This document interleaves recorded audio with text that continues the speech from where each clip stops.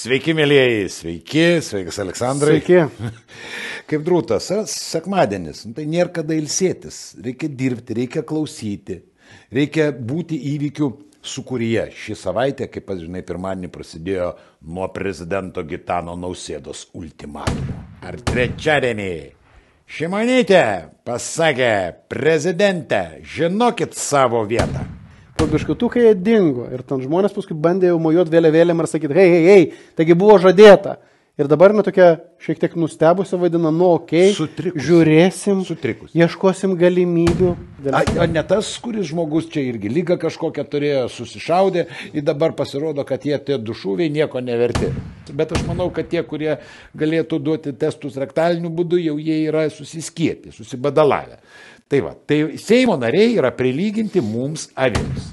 Ar tai jie pradeda kažko bijoti, ar tai supranta, kad ateina ta atpildo diena, kai reikės. Tai, bet man kažkaip... Aleksandrai, Jevšimai, tu man pasakyk vieną paprastą dalyką. O Lietuvoje ne ekspertų liko dar?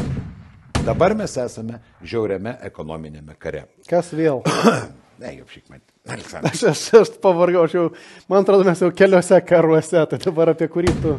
Tai dar ir po dviejų dienų, gal po trijų išeitumėm į darbą.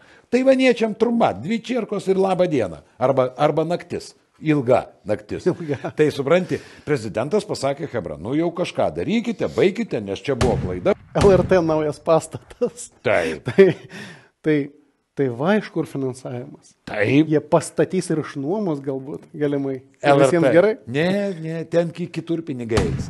Antra prezidentė kainuoja mums taip brangiai, kad žinau, kad net aš, net, net, juokiam sunku. Nu, į dievai nematė. Mes pinigų turim.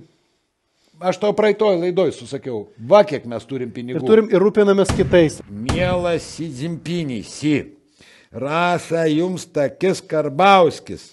Nuo naisių buvau Seime. Ir toj pasakėčiai. Nu, mes lojam, lojam, be kažkokio konkretaus, aiškaus tikslo. Ir lojam beje prasme, Man net neįdomu, ką ten Gabrielius šnekėtų, kas ten kur palaiko, to oficialaus palaikymo niekur nėra. Ir mes tokie vieni avangardę pastatyti. Ir jeigu mes ir gausim kažkokią kompensaciją iš kitur, kur čia nedagavom su Kinė, tai nebijok, už tai tikrai reikės atidirbti.